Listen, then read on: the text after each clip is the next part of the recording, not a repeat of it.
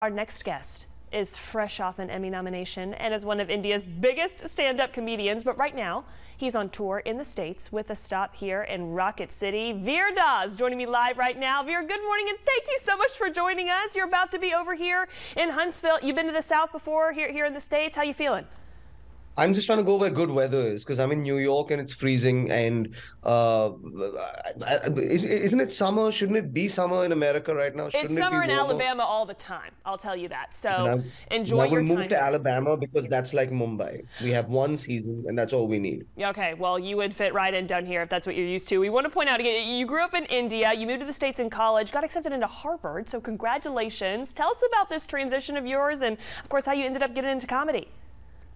Um, well, I was uh, I was in India, and then my parents took me to Africa, where I was kind of the outsider, wow. being the kid from India. Then I was sent to boarding school in India, where I was the kid from Africa. Then went to Galesburg, Illinois, for college, which is, as we all know, the mecca of civilization.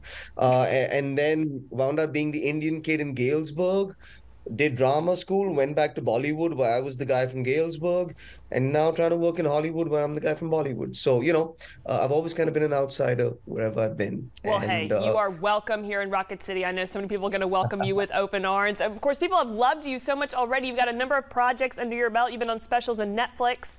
Uh, again, a few yes. TV Emmy nominations. Uh, tell us just about, you know, some of these projects, any that stand out for you, and, and really, you know, just kind of what your comedic style is like.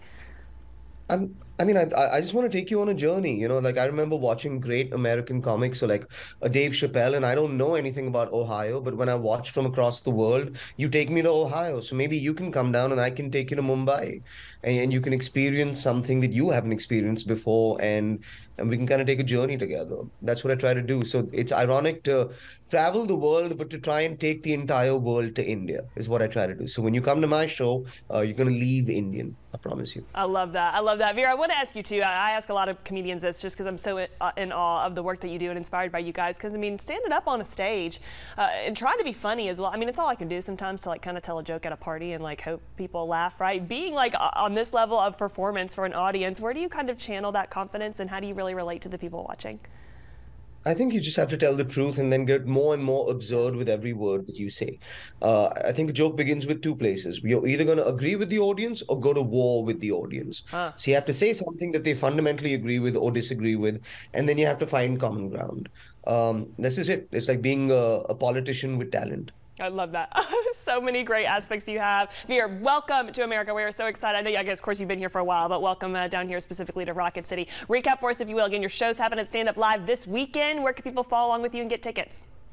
Um, you can get them on the on the website for Stand Up Live, or my website is virdas.in. That's V-I-R-D-A-S dot I-N, and, and I hope you'll come down. I promise you it'll be a good time. All right, we look forward to it. Vir, thank you again so much, uh, and have fun here in Alabama. We're excited to host you. Thanks, my friend.